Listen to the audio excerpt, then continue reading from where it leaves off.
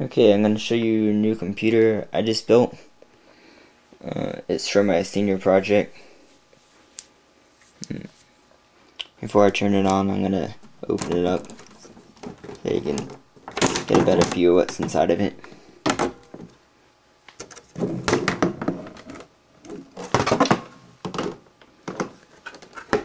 Okay, I have a 550 watt power supply powering a older Pentium D processor and a 9800 GT graphics card.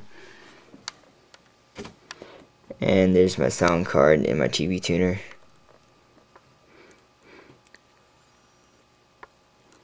And the reason I have it on its side is because right now the heatsink was from the old Dell since they have these stupid that thing on each side that's screwed into their proprietary thing in their stupid computer. So I can't screw it to this motherboard. And eventually I'm going to get a new processor. So I'm going to make another video when I get that. And my two DVD drives, fan controller, and media card reader.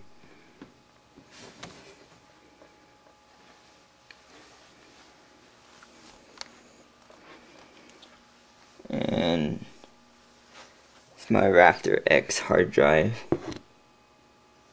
Has a clear window so you can see it. Okay.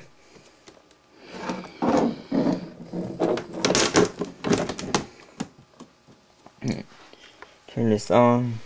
It's a little loud right now until I um get a new CPU fan because I need these fans up so that will stay cool.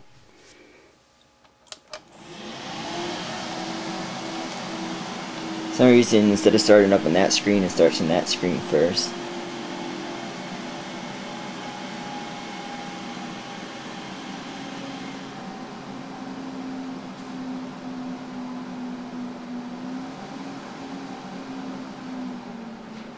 and show you my BIOS.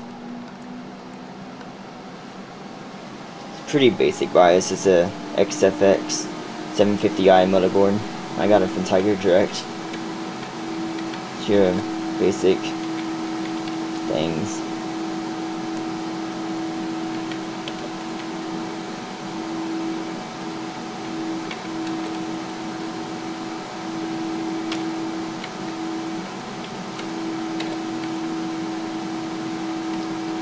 CPU is pretty old, so it doesn't have many features.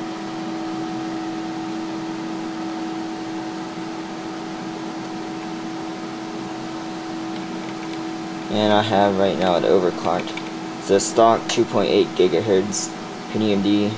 I have it at 3.3 gigahertz right now. And the little jumper, I don't know if you can see, but where that green light is, is a jumper that you have pin that you have to change to enable overclocking, is what that means. And you go here, I changed uh, stock is 800 for FSB and memory stock is 667 so I changed all that. You can't change the multiplier for some reason on this CPU but the voltage I rose 1 from stock. And then memory I left at stock voltage. Then that I rose as high as it stayed where it says not recommended and Northbridge I did the same. Southbridge I left stock. And then I just F10 and deboot.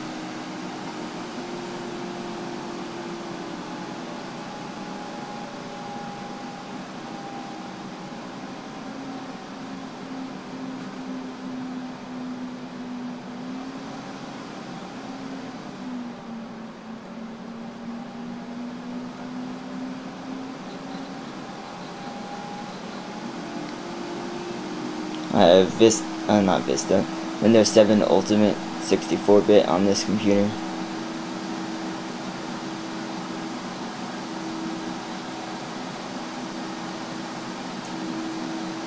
Eventually I plan on getting a Q9400 CPU, so it should boot up a lot faster once I get that. See now it's over to the screen.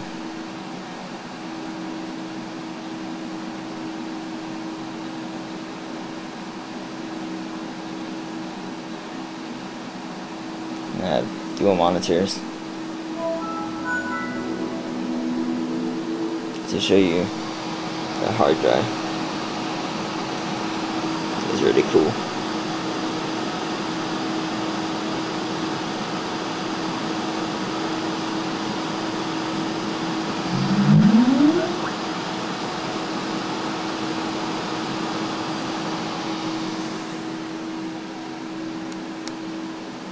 And I forgot to show you the back ports on the computer.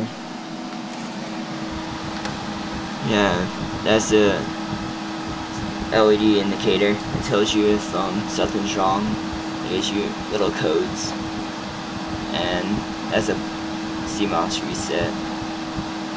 Yeah. I don't use integrated audio, so I just use my sound card. There's my graphics card, network, USB.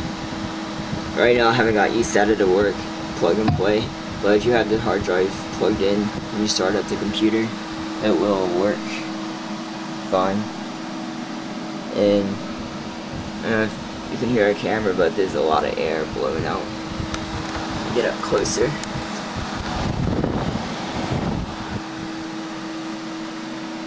Mostly coming from those two top fans up there then I can make it a lot quieter right now if I use SpeedFan. I can find it? Uh,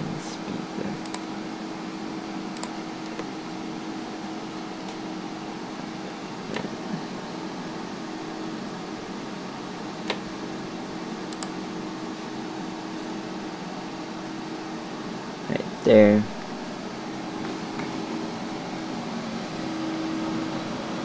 loading all the information.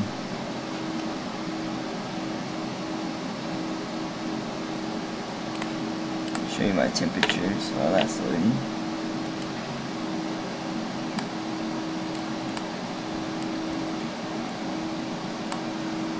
Then you have, once that gets out of the way, your voltages, CPU temperature, and I think that other one is the Northbridge temperature. I'm not sure. And your fan RPMs.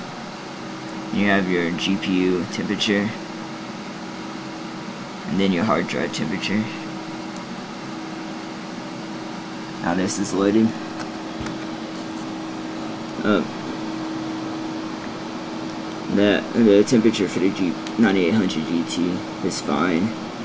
You know, it says it's really hot and, this is what fan slot is on. That's the lowest I go, otherwise the fan just turns off. As it gets a lot quieter. Then I can just turn this knob right here. And it gets really quiet. And I just hear my hard drive going.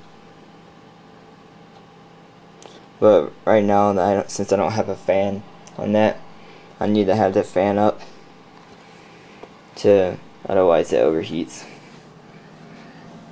It gets really hot like at 60 Celsius.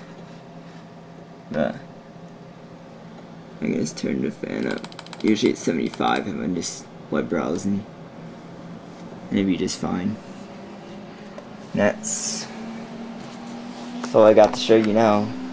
And hopefully within a month or so I will have a new CPU and I can and maybe some Cold Cathode lights lined up along here sound activated. And I'll post another video of all that. And see you for now